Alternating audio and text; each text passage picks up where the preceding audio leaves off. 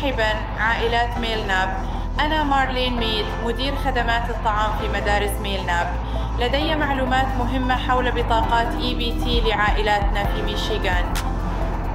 انتهت برنامج البطاقة الإلكترونية للجائحة PEBT رسمياً. يمكن استخدام بطاقات EBT لشراء المواد الغذائية الطازجة عند إغلاق المدرسة. إذا كان طفلك غائبا عن التعليم الشخصي بسبب الجائحة لن يكون هناك فرصة لبطاقات PEBT هذا العام للأسف.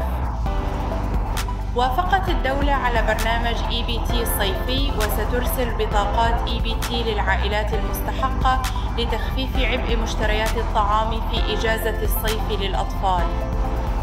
حوالي 40 دولار في الشهر.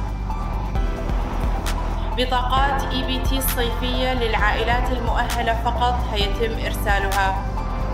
تجمع المدرسة المعلومات سنويا بإرسال نموذج فوائد التعليم للمنزل المعروف سابقا بمسح الأسرة. إذا كانت عائلتك تتلقى بعض المزايا من الدولة مثل سناب أو برامج ميديكيد ستتم تأهيلك تلقائيا. إذا لم تستكمل النموذج بحلول 13 فبراير لن تكون مؤهلا للنظر في الفوائد.